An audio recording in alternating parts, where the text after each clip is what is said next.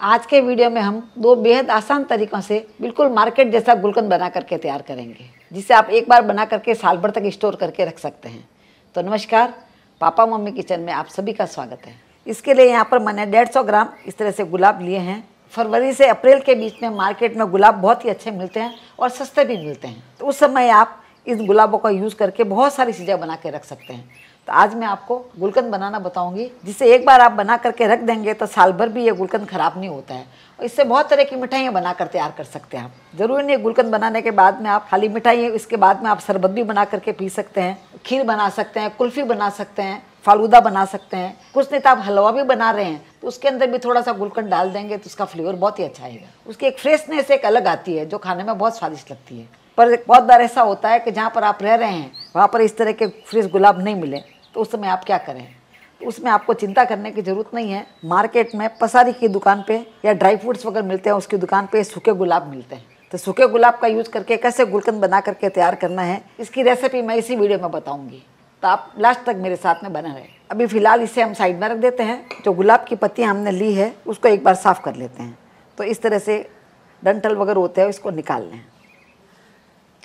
इस चीज़ का ध्यान रखें, जब भी आप लें, फ्रेश गुलाब, जो कि देसी गुलाब होते हैं, वही गुलाब लें। देसी गुलाब का फ्लेवर बहुत अच्छा होता है। मार्केट के अंदर बहुत सारे गुलाब मिलते हैं और कई अलग अलग क्वालिटी के मिलते हैं। पर काफ़ी हाइब्रिड गुलाब आ गए, उसकी खुशबू नहीं होती है, दिखने में बहुत सुंदर लगते हैं। तो इस तरह से देसी गुलाब होते हैं, वो आप लें। जो दिखने में सुंदर होते हैं और खुशबू तो इसकी बहुत ही अच्छी आती है। तो इसकी पत्तियाँ इस तरह से आप अलग कर लें। जो डंटल होता है, उसे आप इस तरह से निकाल लें। इस तरह से मैंने पूरे गुलाबों के अंदर से डंटल को अलग कर लिया है। जो सड़ी हुई पत्तियाँ अगर हो तो वो भी आप अलग कर लें। अभी इसको हम साइड में रख देते हैं और इनको गुलाब को हम धो करके तैयार कर लेते हैं, क्योंकि इसको मिट्टी वगैरह होगी तो वो निकल जाएगी। अभी गुलाब की पत्तियों को धोने के लिए यहाँ पर मैंने पानी लिया है और इन पत्तियों को इसके अंदर डाल देते हैं। इस तरह से हल्के हल्के हाथों से आप इसे इस तरह से करें और जो भी इसके अंदर पराग वगैरह होते हैं, डस्ट वगैरह होती है, वो नीचे चली जाती है। और पत्ते काफ़ी सॉफ्ट होती है, इसलिए ऊपर तैरती रहती है। तो हल्का हल्का इस तरह से आप दबा दें। इसके ऊपर जो मिट्टी वगैरह होती है, वो नीचे चली जाएगी। गुलाब के ऊपर आपके ज़्यादा मिट्टी हो तो दो तीन बार भी आप धो सकते हैं, पर हल्के हाथ से धोए। अब इस गुलाब की पत्तियों को हम इस तरह की जाली के अंदर डाल देते हैं, जिसे इसके अंदर एक्स्ट्रा पानी होगा, वो निकल जाएगा। आपको याद होगा जब मैंने गुलाब का शरबत आपको बनाना बताया था, उसकी पत्तियों को मैंने इस तरह से जाली में नहीं निकाला था, क्योंकि उसमें पानी निकालने की ज़रूरत नहीं थी। जब गुलकंद बनाते हैं तो इसमें किसी तरह की पानी की मात्रा नहीं होनी चाहिए तो इसीलिए इस पत्तियों को इसमें डाल देते हैं। तो आप देख पा रहे हैं, इसके नीचे कचरा है, काफ़ी आ गया देखिए। आप देख पा रहे बहुत सारा कचरा इसके अंदर आ गया ज़्यादा हो कचरा आपके तो और दो तीन बार धो सकते हैं। इस पानी को हम फेंकेंगे नहीं, पौधा के अंदर आप डाल सकते हैं। अभी दो मिनट तक इन पत्तियों को हम इसी तरह से जाली में रख देंगे, जिससे एक्स्ट्रा पानी होगा वो इसके नीचे निकल जाएगा। तब तक मैंने साइड में एक कॉटन का कपड़ा लिया है। आप कोई भी कॉटन का कपड़ा ले सकता है, वो साफ़ होना चाहिए। कॉटन की आपके पास चादर हो तो वो भी ले सकते हैं टॉवल हो तो वो भी ले सकते हैं। जहाँ तक हो सके कॉटन की लें आप, और इन पत्तियों को इस तरह से आप इसमें फैला दें। इन गुलाब की पत्तियों को आपको धूप में नहीं सुखाना है। धूप में सुखाने से इसका कलर ख़राब हो जाता है। जहाँ तक हो सके आप फ़ैन चला करके उसके नीचे सुखा दें, नहीं तो आप ऐसे भी सुखाएँगे तो आधे घंटे में अच्छे से सूख के तैयार हो जाएगी। हमें इसे सुखा करके क्रिस्पी नहीं करना है। खाली इसके ऊपर का मॉइस्चर है, पानी है, वो ख़त्म हो जाना चाहिए। मॉइस्चर रहेगा तो जो भी हम गुलकंद वगैरह बनाएँगे तो जल्दी ख़राब हो जाएगा। इस चीज़ का आप ध्यान रखें। अभी इसको हम फ़ैन चला करके आधे घंटे के लिए फैला के रख देते हैं। तब तक मैंने ये सूखी गुलाब की पत्तियाँ लिए वॉल्यूम में देखें तो ये दो कप के बराबर है। और वज़न में देखें तो लगभग ये पचास ग्राम पत्तियाँ हैं। वैसे मैंने पहले आपको बताया कि फ्रेश पत्तियाँ लगभग फरवरी और अप्रैल के बीच तक मिलती है। पर ये पत्तियाँ क्या पूरे साल भर मिलती है? तो कभी भी आपका मन गुलकंद बनाने का करे तो आप फटाफट बना करके तैयार कर सकते हैं। ये बहुत ईजी तरीका भी है, पर इसका तरीका बनाने का अलग होता है। आज मैं वही तरीका आपके साथ में शेयर कर रही हूँ। आप मार्केट से जब भी इस तरह की पत्तियाँ खरीद करके लाए, उस समय आप ध्यान रखें, इसको एक बार आप अच्छे से साफ़ कर लें। क्योंकि इसके अंदर कोई तरह के कचरा हो सकता है या डंठल वगैरह हो सकता है तो वो आप निकाल लें। वो इसमें नहीं रहने चाहिए। अभी इसे हम वॉश कर लेते हैं। अब सूखी हुई पत्तियों को धोने के लिए मैंने एक बाउल लिया है। इसमें पानी डाल दिया है। तो सभी पत्तियों को इसमें डाल देते हैं। आप इस तरह से अच्छे से मसल मसल के धो लें, क्योंकि इसके ऊपर जो भी मिट्टी वगैरह होगी, वो नीचे चली जाएगी। पत्तियाँ हल्की होती है तो ऊपर तैरती रहती है। सभी पत्तियों को हमने अच्छे से धो लिया है। पत्तियाँ देखिए काफ़ी सॉफ्ट हो गई है। अभी इसको हम बाउल में निकाल लेते हैं। इस तरह से बाउल लिया हमने। सब पत्तियों को इसमें निकाल लेते हैं। भी साइड में हमने कढ़ाई ली है, कढ़ाई में एक कप जितनी शक्कर डाल देते हैं। इस चीज़ का आप ध्यान रखें कि 50 ग्राम हमने पत्तियाँ ली है तो उसकी चार गुना शक्कर लेनी है। यानी हमने 200 ग्राम शक्कर ली है। एक कप के अंदर 200 ग्राम शक्कर आती है। जितने आप शक्कर लेते हैं, उतना ही आपको इसमें पानी डालना है। एक कप हमने शक्कर ली थी, इसीलिए इसमें हमने एक कप पानी डाला है। गुलाब की पंखुड़ियों को जो हमने धो के रखा है, वो भी इसमें डाल देते हैं। और सबको अच्छे से एक बार मिक्स कर लेते हैं। धोने के बाद में देख पा रहे पंखुड़ियाँ काफ़ी फूल गई है। पानी के कारण से काफ़ी फूल जाती है पंखुड़ियाँ। एक बार अच्छे से मिक्स कर लेंगे। अभी हम गैस को धीरे आँच में चालू करेंगे। ये मैं तरीका जो आपको बता रही हूँ, वो जहाँ पर जो ठंडी जगह पर लोग रहते हैं और जहाँ पर धूप अच्छी नहीं आती है तो वो लोग इस तरह से बना करके तैयार कर सकते हैं। या आपके इधर फ्रेश गुलाब नहीं मिलते हैं, उस समय आप इस तरह से बना करके तैयार कर सकते हैं। आप देख पा रहे इसमें अभी हल्का हल्का उबाल आने लग गया है। हल्का सा उबाल आने के बाद में गैस को बंद कर देंगे और ढक्कन लगा करके इसे 20 से 25 मिनट के लिए रख देंगे। 20 से 25 मिनट में पंखुड़ी हमारी बहुत ही अच्छी फूल जाएगी। अभी इसे रखे हुए लगभग आधा घंटा हो गया है। आधा घंटे में देखिए पूरे अच्छे से पत्तियाँ सब भीग गई है। सभी पत्तियाँ सॉफ्ट हो गई है। इसका कलर भी देखिए अच्छा आ गया है इसमें। देख, पानी के अंदर इसका कलर भी बहुत अच्छा हो गया है। इस तरह से पत्तियाँ थोड़ा कलर भी छोड़ देती है। अभी हम गैस को वापस चालू कर देंगे। आँच को हम स्लो और मीडियम के बीच में रखेंगे। तेज़ आँच में नहीं पकाएँ कभी भी। इस गुलकंद का आराम यह है कि जल्दी जल्दी बन के तैयार हो जाता है। बस आपके पास सूखी गुलाब की पत्तियाँ होनी चाहिए और गुलाब का मौसम होता है, उस समय आप अपने घर में भी गुलाब की पत्तियों को सुखा करके रख सकते हैं। और पूरे साल भर कभी भी आपको मन करे, आपका पहले वाला गुलकंद खत्म हो जाए तो फिर आप बना करके तैयार कर सकते हैं। अभी इसको पकाते हुए लगभग पाँच से सात मिनट हो गए हैं। देखिए, काफ़ी गाढ़ा हो गया है इसका कलर भी देखिए कितना सुंदर आ गया है। इसको एकदम गाढ़ा नहीं करना है थोड़ा थोड़ा ऐसे इसमें रहना चाहिए देखिए। रस है ना ये, रस है अभी तक थोड़ा थोड़ा रस रहना चाहिए। क्योंकि तो एकदम सूखा आप कभी कर देंगे तो बाद में ठंडा होने के बाद में और भी सूखा हो जाएगा ये। तो हमें इसी तरह का बना करके तैयार करना है। देखिए हल्का हल्का जूस इसमें दिख रहा है। इसमें पानी नहीं है ये ये पूरा इसके शक्कर की जो चाशनी बन गई है, वही है। ठंडी होने के बाद में और भी गाढ़ी हो जाएगी। इसी तरह से आपको बना करके तैयार करना है। अभी हम गैस को बंद कर देंगे। ठंडा होने के बाद मैं आपका दिखाती हूँ। कि कितना गाढ़ा हो जाता है।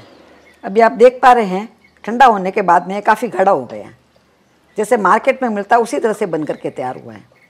पहले से आप बहुत ज़्यादा गाढ़ा कर देंगे तो फिर ये सूखा सूखा हो जाएगा। फिर खाने में अच्छा नहीं लगेगा, और उसका लुक भी ऐसे सूखा सूखा अच्छा नहीं आएगा। इस तरह से बना करके आप लीक टाइट डब्बे में भर करके रख देंगे तो फ्रिज के बाहर भी ये महीने, डेढ़ महीना ख़राब नहीं होता है।